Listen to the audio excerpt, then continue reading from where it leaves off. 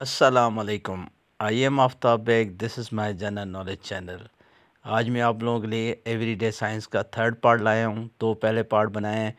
वो भी मेरे चैनल पे होंगे। प्रीवियस वीडियोस में आप देख सकते हैं। आज ये थर्ड पार्ट है एवरीडे साइंस का। जिसमें हम दस सवाल डिस्कस करेंगे पाँच मिनट में। और ये हमने most repeated M C Qs उठाए हैं, जो कि पिछले पेपरों में आ चुके हैं। बहुत सारे पेपरों में आ चुके हैं। वो सवाल है। तो चले स्टार्ट करते हैं आज की वीडियो ये। आज का पहला सवाल। Meteorology is the study of meteorology किसकी स्टडी है? तो इसके आंसर्स हैं, देख लें सीजन्स पे ए और बी एटमॉस्फेयर है और सी है air and sounds and fourth है विंड्स एंड क्लाउड्स तो इसका जो राइट right आंसर है वो है बी एटमॉस्फेयर एटमॉस्फेयर की स्टडी को मेट्रोलॉजी कहा जाता है. मेट्रोलॉजी एटमॉस्फेयर की स्टडी कहा जाता है. उसके बाद चलते हैं सवाल नंबर टू की तरफ़. कि the carbon dioxide in the atmosphere by volume is कि वॉल्यूम कितना है कार्बन डाइऑक्साइड का पूरे हमारे एटमॉस्फेयर में कितना वॉल्यूम है? तो इसके डिफरेंट ऑप्शन है zero point zero three nine है थ्री पॉइंट नाइन है थर्टीन है थर्टी है तो कितना है? तो इसका जो राइट आंसर है, वो है zero point zero three nine percent तो चलते हैं आज के तीसरे सवाल की तरफ़, जो कि ट्वेंटी थ्री है सीरीज़ के हिसाब से, ये थर्ड वीडियो है हमारी। तो इस हिसाब से। तो इसका है diamond is the allo allotropic form of allotropic form जो है डायमंड का वो कौन सा होता है? तो इसमें राइट देख लें आंसर्स कार्बन है हाइड्रोजन है नाइट्रोजन है सिलिकॉन है।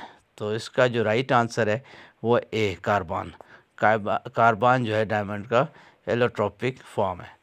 उसके बाद चलते हैं आज के चौथे सवाल पे, जो कि ट्वेंटी फोर बनता है थर्ड सीरीज़ के हिसाब से। The S I unit of heat is ऐसा यूनिट जो हीट का है, वो क्या है? तो डिफरेंट ऑप्शन है वॉल्ट है वॉल्ट है जोल है, या न्यूटन है।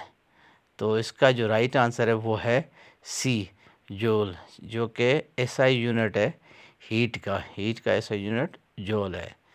तो ये है ट्वेंटी फोर नंबर सवाल। चलते हैं ट्वेंटी फाइव पे। आज का पाँचवा सवाल है जो the good source of vitamin A are कि विटामिन ए का गुड सोर्स जो है, वो कौन सा है?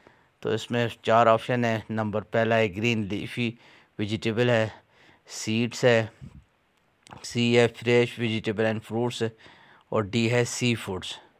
तो इसका जो राइट आंसर है वो है ए, ग्रीन लीफी वेजिटेबल्स। इसमें क्या है? Source of vitamin A, good source है विटामिन ए का।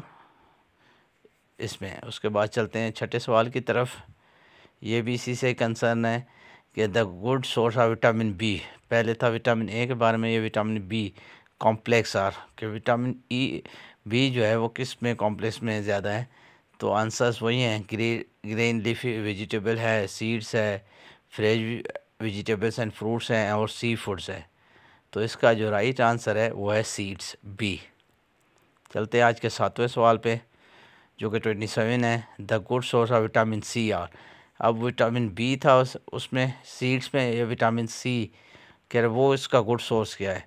तो इसके ग्रीन लीफी वेजिटेबल्स है बी सीड्स है C fresh vegetables and fruits है, और डी है सी फूड्स तो इसका जो राइट आंसर है वो है सी क्या फ्रेश वेजिटेबल्स एंड फ्रूट्स चलते हैं आज के आठवें सवाल पे। दिस इज़ ट्वेंटी एट जो कि सीरीज़ के हिसाब से the good source of iodine are iodine का गुड सोर्स कौन सा है? तो ग्रीन लीफी वेजिटेबल्स है सीड्स है ऑप्शन वही है फ्रेश वेजिटेबल्स एंड फ्रूट्स है, और डी है सी फूड्स तो इसका जो राइट आंसर है, वो भी डी है. सी फूड्स में क्या है? गुड सोर्स ऑफ़ आयोडीन है. उसके बाद ट्वेंटी नाइन सवाल पे चलते हैं, जो कि नाइन सवाल है आज की वीडियो का. The gas commonly known is laughing gas laughing gas ये बहुत बहुत सारे पेपर में आता रहता है सवाल. लाफिंग गैस इसको क्या कहा जाता है? कार्बन डाइऑक्साइड कहा जाता है सल्फ़र डाइऑक्साइड कहा जाता है, नाइट्रोजन ऑक्साइड कहा जाता है या सोडियम ऑक्साइड कहा जाता है। तो इसका जो right answer C nitrous oxide कहा जाता है इसको। आज का लास्ट क्वेश्चन और थर्टी सीरीज़ के हिसाब से, thirty question, the energy volume of food is measured in, कि एनर्जी जो फ़ूड की है, उसको कैसे मेजर किया जाता है, किसमें मेजर कहा जाता है?